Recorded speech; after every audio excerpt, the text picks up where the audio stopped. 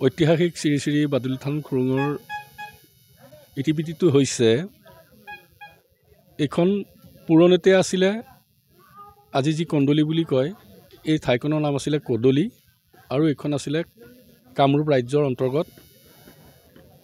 এই কদলিতেই এটি বৃহৎ আকাৰৰ গুহা আছে। এই গুহাটোতেই নাৰীসকলে ইয়াত বাস কৰিছিলে আৰু ইয়াতেই নাৰী কমলা দেৱীৰ এখন ৰাজ্য আছিলে। এবাৰ এই ৰাজ্যত মিন্নাথ নামৰ এজন যোগীয়ে প্ৰৱেশ কৰিছিল। কিন্তু এই নাৰী ৰাজ্যৰ এটা পৰম্পৰা আছিলে ইয়াত কোনো ধৰণৰ পুৰুষ প্ৰৱেশ কৰিব নোৱাৰিব। তেখেতে যিহেতু মিন্নাথে ইয়াত প্ৰৱেশ কৰিলে আৰু তেখেত ধৰা পৰিলে ধৰা পৰোঁতে তেখেতক ভৰিকেইটা ওপৰলৈ দি মূৰটো তললৈ দি পেলাই ওলোমাই বন্দী কৰি ৰখাইছিলে। তেখেতৰ শিষ্য আছিলে গোৰক্ষনাথ।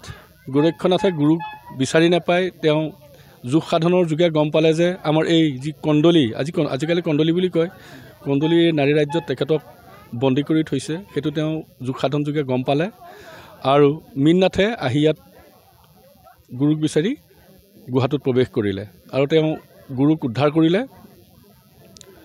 গোৰক্ষনাথে গুৰুক উদ্ধাৰ কৰি গুৰুক ওপৰলৈ মূৰটো কৰি তললৈ মূৰটো কৰি ওলোমাই থোৱাৰ কাৰণে নাৰীসকলকো অভিশাপ দিলে যে মোৰ গুৰুক যেনেকৈ তোমালোকে বন্দী কৰি থৈছিলা তোমালোকেও তেনেকৈ আজিৰ পৰা বাদুলি হৈ এই গুহাতেই বসবাস কৰিব লাগিব।